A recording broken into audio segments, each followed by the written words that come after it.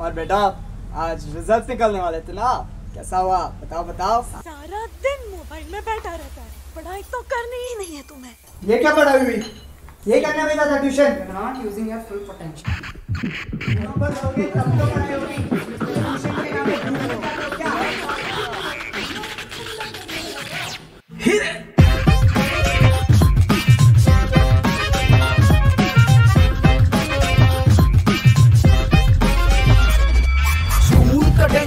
सबका अटेंशन दोस्त हो या अंकल करते हैं mention can do better can do better can do better can do better can do better सब बोलते हैं। फ्री में तो मुँह अपना सब खोलते हैं। दुनिया तो कहती है आगे बढ़ो, पर कैसे करें, ये सब सोचते हैं। पढ़ता ही रहता था मैं, आँख अपनी खोल के और याद करता था चीज़ों को दस बार बोल के। नकली की किताबें जिसने ज्ञान सारा छोड़ के सिखाया, मुझको आगे बढ़ना असलियत को मोड़ के।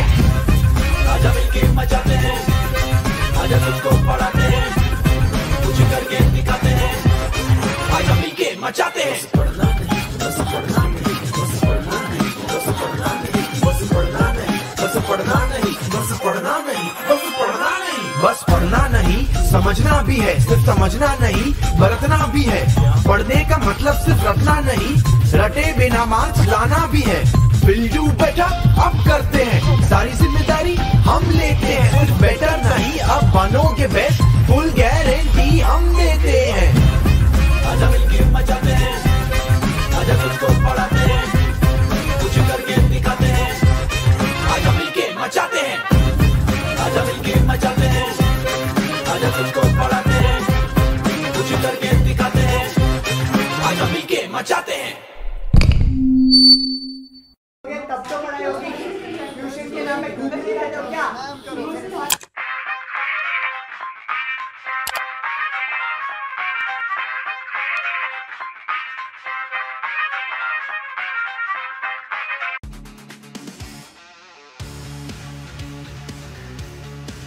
Hi everyone, a very warm welcome to the session. This is Shweta Roy, your English master teacher at Vedantu. So welcome to the one shot revision series. the poem that we are going to deal with today is a beautiful one and a very heart touching poem, guys. And that's Nine Gold Medals by David Roth. And I am sure, guys, after today's session, you will be really, really amazed and you will the incidents described in this poem is going to definitely touch your heart that's a promise okay so those of you who do not know me let me introduce myself i am shweta roy i am your english master teacher at vedantu and talking about my education and qualifications i have pursued my masters in english and b.ed i have more than a year of teaching experience and I've also qualified CTET and mentored more than 20,000 students, both online and offline. My motto is to unleash the power within you. So, guys, I know each one of you are powerful. So, do you feel that power, guys? So, trust me, in today's session, you will definitely feel empowered. You will get the opportunity to ideate, create, innovate in today's session. All right, guys? And in all the upcoming sessions as well. So, please put down in the chat box whether you feel empowered. Okay, so let's get started and let me see the Josh, guys. How's the Josh? Hi, everyone. Okay, so we'll begin with word of the day given by Sassy Singh. Thank you so much for giving us the word. A big round of applause for Sashi. And the meaning is uh, the word is epoch. What does the word mean? It means a particular period of time in history or a person's life and she has also used it the victorian epoch that is the victorian period. Very very well done. Let me see your word of the day at the comment section. In the comment section don't forget to do guys. Don't, don't forget to post your comments in the comment section. And also don't forget to use this particular word in your own sentences. Chalo guys let's begin. But before beginning hit the like button share the video amongst your friends and if you haven't yet subscribed to the channel do subscribe because we would be coming up with super amazing sessions only and only for you people homework rockers for the previous session sharma sharma madhu ronak uh, piyush and ajay A big round of applause. People, you people have rocked. So guys, now it's your turn to rock the homework session, homework question in today's session. Don't forget to post your answers in today's for today's session in the homework uh, in the in the comment section. Okay, bacha buddy? So get a chance to be the next homework rocker, guys. Chalo. This is the weekly schedule. Please take a note of the weekly schedule so that you do not miss out on any important session. And don't forget to subscribe to the channel, guys. Okay? So let's get started. Let's get started. And I have an interesting riddle for you. Okay? So this is the riddle. You are in a dark room with a box of matches. Nearby are three things. A candle, an oil, oh, sorry, an oil lamp and a log of firewood. Which do you light first? Think about it. This is a riddle. This is an interesting riddle. Let's think about it and let's discuss this at the end of the session. So do not go anywhere guys. We will be discussing this amazing session and let me check out how many of you have got the answer correct for this particular riddle. Okay. So stay tuned and now this is going to be the session flow theme and the message of the poem, poetic devices, important question and answers along with the homework question. So I would, okay, first let me begin before beginning of the session, I would like to ask you one question. How many of you uh, are sports lover? How many of you followed the Tokyo Olympics this time? Give me a quick high five. So this time, guys, the Olympics was spectacular. It was really, really spectacular. And I actually saw few marvelous incidents, guys. Marvelous, heart-touching and heartwarming incidents. I would narrate two incidents which really touched my heart and i'm sure these incidents are going to also touch your heart. Okay? So let's first describe the first one. Let let's first see the first incident a very heartwarming incident that happened in this tokyo olympics. Are you excited so let me see the excitement guys let's see let's rock in the chat Please type let's rock in the chat and let me know how excited you people are. So let's see the very first, a very heartwarming incident guys. On August 1, an incredible event took place at the Olympics, at the Tokyo Olympics. So these two people, um, Barsim, Barsim, okay, Barsim of Qatar and Tamberi of Italy, okay, they shared the gold medal for men's high jump. Oh my good God. Okay. So this is something which is really, really unusual. Sharing of the gold medal. Okay. So both had uh, both had cleared uh, 2.37 meters, but were unable to clear 2.39 meters bar even after three attempts. Right. So now uh, the Olympic officials they were they were discussing they came to discuss the modalities of the sudden uh, you know uh, modalities obviously to determine the winner. So they were having this discussion as to who uh, they are going to claim as the winner. And then this spectacular event took place when Bursim, uh, Bursim, I hope I'm pronouncing the name correct, asked if they could share the medal and the official replied that this was definitely possible and the rest is history. So isn't that a beautiful thing, guys? Isn't that even really heart touching? Yes or no? So the poem that we're going to deal with has a similar, I mean, uh, uh, that also has a very heart touching incident. Okay.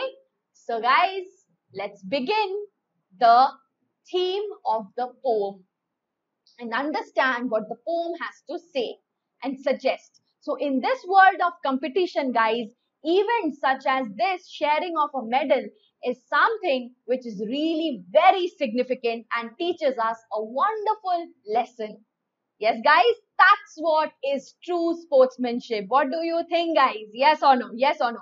What is your view on this? I told you that I promised you that you will feel empowered. So yes, you are empowered to express your views on this particular incident. Okay. So please post, please give your inputs here. And now we will look at the mind map of the poem. Ready to check it out, guys? So here is the mind map. Okay? So first is the message of the poem. Obviously, kindness is the best form of humanity. It is said by Doris Lee. So what happened in this particular poem was, uh, of course, uh, the youngest of the runners had fallen down. And what happened was the rest of them did not run. What did they do? They came back, they stopped and they came back.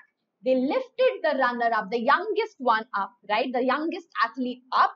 And then they together held their hands and unitedly they crossed the finishing line, right, guys? The race was reduced to uh, the race was reduced to a walk, but it was definitely the, the event was really spectacular. Okay, and they truly deserved the gold medal. So each one of them had gold medals, had been awarded gold medals, right? Each of them were awarded the gold medals, and they were truly, truly deserve, uh, deserving. And they, they actually, it was a special Olympics, and they actually made it special in the true sense of the term, right, guys?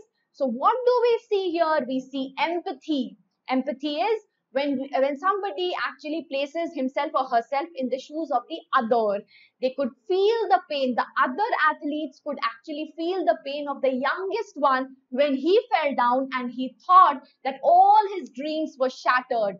Remember in order to come to this olympics be it a special olympics or any olympic game very hard and rigorous training people have to go through a very rigorous process of training, right? And they have this goal of actually grabbing the medal, right? That's their goal, that's their dream. So the moment the youngest member fell down, all his dreams were shattered.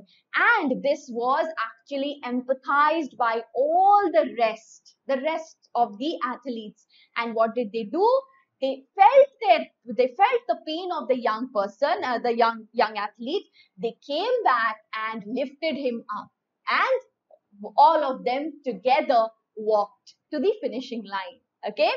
That definitely suggests the true sportsmanship. And as we also could see this even in today's world even when we have so much competition but still we could see this in the recent Tokyo Olympics as well, as I already narrated one such incident, right? Brotherhood, yes.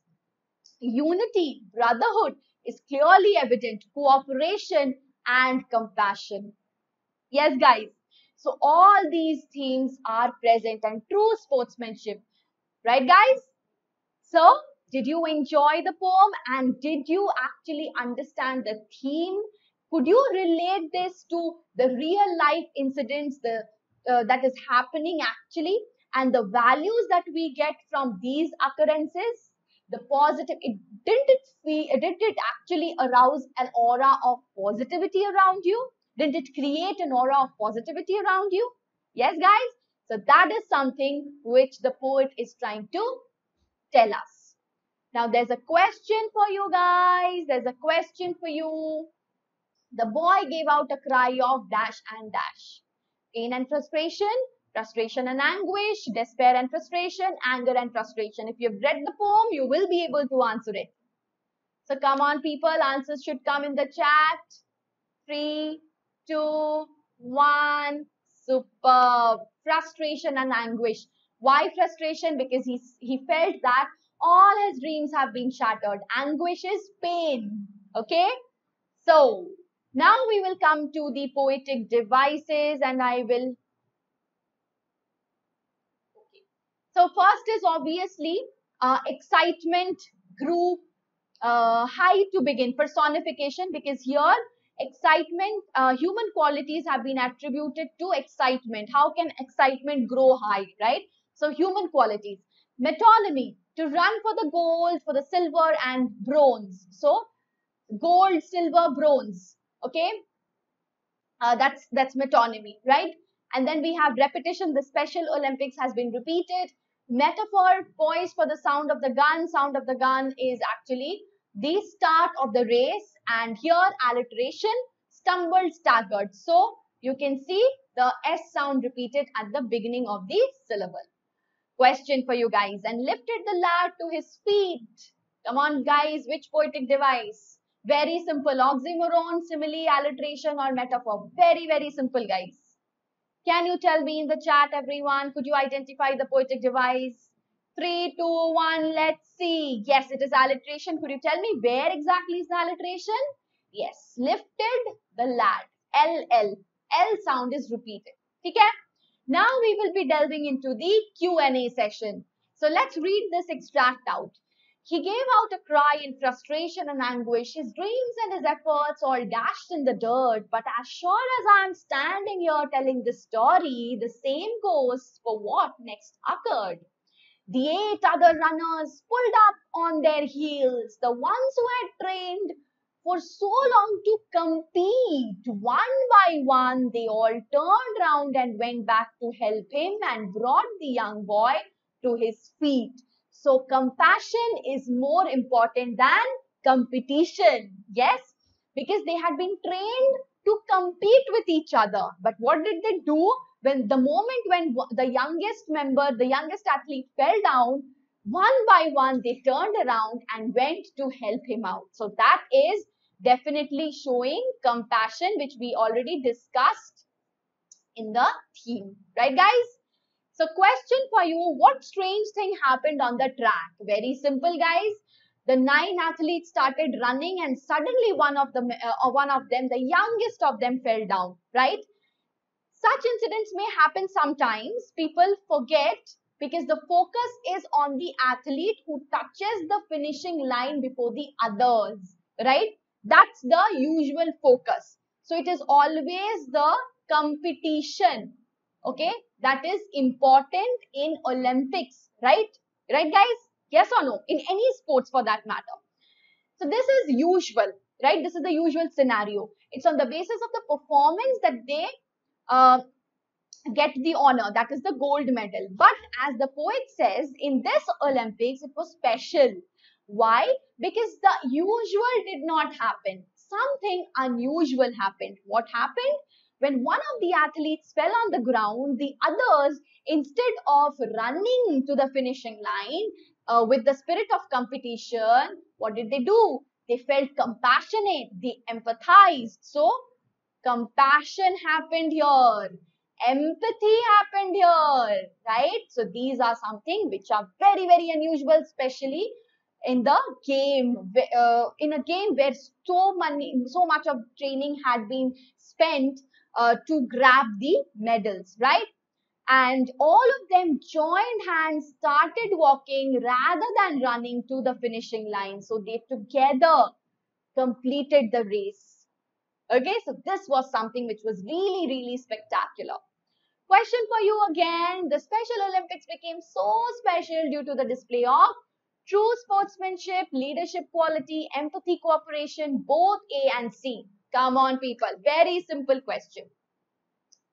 Three, two, one. Let's quickly have a look at the answer. It is both true sportsmanship spirit and empathy and cooperation. Good job. Good job, everyone. Moving ahead. He gave out a cry in frustration and anguish. His dreams and his efforts all dashed in the dirt. But as sure as I'm standing here telling this story, okay, the same thing, sorry, the same, same passage. Let's go to the next question. Four marks question, guys. Where were the other runners? Sorry, were the other runners selfish? Explain. Obviously, they were not, not at all selfish. Okay, they were a far cry. okay, so they had stopped running on seeing the youngest runner. They helped him to get out, get up, and it was one of the prestigious events that the uh, and the athlete who had won it, he would have been hailed as a hero. But what did the other athletes do? They preferred helping the fallen runner to winning the gold medal. This shows their generous nature. This shows their compassion this also shows the true sportsmanship spirit. If they had been selfish, they would have continued to run. So they showed empathy, they showed cooperation, they also showed the true sportsmanship spirit. Question guys, what's the meaning of the word poised? Severe mental or physical pain, smiling broadly, having a composed and self-assured manner, walk or move unsteadily as if about to fall. Come on, vocabulary testing. Let's test your vocab. Come on, people. Let me see how many of you can do this. Three, two, one. Let's quickly have a look. Having a composed and self-assured manner is absolutely the correct answer. Okay, so please note the meaning of the word poised. Okay, it's, it means calm and composed. Okay, so I would be ending the session with another beautiful incident that happened in the Tokyo Olympics. And this is what we call the sportsmanship spirit. When Great Britain players win hearts, actually they won hearts as they console the heartbroken team India. So you know if you have followed the hockey match, um, the women's hockey, this was what uh, this was what had happened in the match, right? So uh, when uh, uh India couldn't win, like yes, uh, they they actually could not uh, win, but obviously they were heartbroken. But still, what did the Britain team players do? They were consoling. So this actually reveals the sportsmanship spirit. So guys, that is what we have learned in today's session. And I'm sure guys, all the incidents that we have talked about in the poem as well as the real life incidents which had happened in the Olympics, Tokyo Olympics, they were really, really heart touching. Apart from the spectacular victory of so many, so many uh, people from India, this is also something we should all focus on. Okay. These are the values that we definitely should inculcate. Yes, guys. So victory is definitely important, but apart, uh, uh, uh, you know, apart from the victory, we should also see this side of the game. Yes, guys. So with that, can you riddle me this? Have you got the answer? Yes. Chalo, let's quickly have a look at the answer, guys. It is the matchstick.